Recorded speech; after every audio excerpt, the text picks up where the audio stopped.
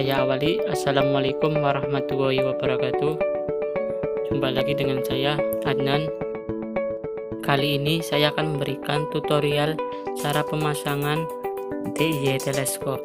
Yang pertama dibutuhkan yaitu teleskopnya sendiri, kemudian dudukan teleskop ke tripod, kemudian tripod, kemudian HP, kemudian dudukan HP.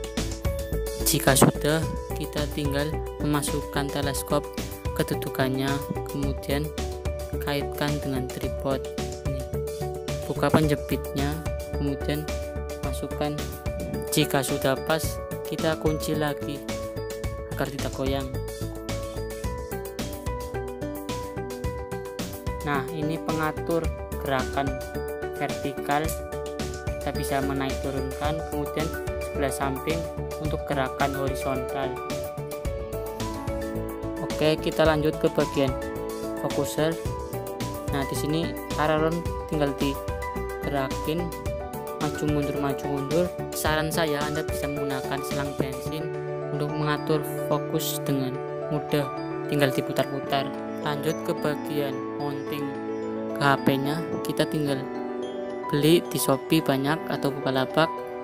Tinggal dikaitkan dengan okuler. Kemudian HP-nya kita masukkan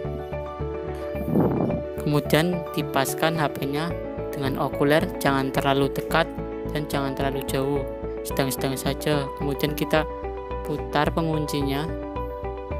Pastikan sudah kencang agar HP tidak jatuh.